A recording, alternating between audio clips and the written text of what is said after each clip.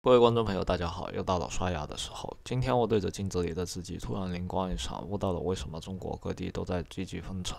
之前也说过，中国今年经济不景气，连首府李大人都要跑到地方上向各地大员讨口子，压力之大可见一斑。所以才说被中央点名的几个城市，为了应付中央的要求，估计都难逃被榨干的命运。这里就不多说了，感兴趣的可以去挖坟。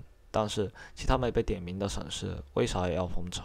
这里我就站在各地方党委书记的角度，为大家算一笔账。经济上，今年哪个省市表现都不太好，生怕被中央盯上，以后变成奶牛永世不得翻身，枪打出头鸟。既然你这么有钱，为什么不孝敬中央呢？政治上，封城属于积极向党中央核心靠拢。肯定是万无一失的选择。更重要的是，通过封城，可以把今年经济下行的锅甩给中央。哎，为了执行中央布置的任务，连 GDP 都可以上升。我对中央的忠诚天地可见。所以，下一次提拔中央委员的时候，能不能优先考虑一下我老人家呢？